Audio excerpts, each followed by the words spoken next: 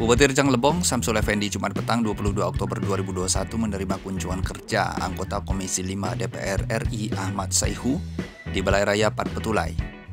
Selain sebagai anggota DPR, Ahmad Saihu adalah seorang politikus Indonesia yang menjabat sebagai Presiden Partai Keadilan Sejahtera.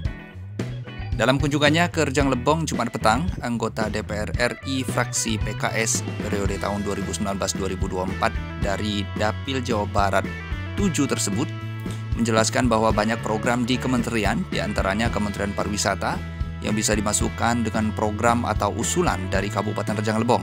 Salah satunya adalah program Dewi Cita atau Desa Wisata Ciptakan Lapangan Kerja. Selain program wisata di Kementerian Desa juga ada terdapat program lainnya. Pria yang pernah mengikuti Pilkada Jawa Barat tahun 2018 sebagai calon wakil gubernur mendampingi Maijen Purnawirawan Sudrajat itu juga mengatakan akan mendorong dilakukannya eksplorasi panas bumi yang kini digarap oleh Pertamina Geothermal dan Energi atau PGE yang berlokasi di perbatasan antara Kabupaten Rejang Lebong dan Lebong.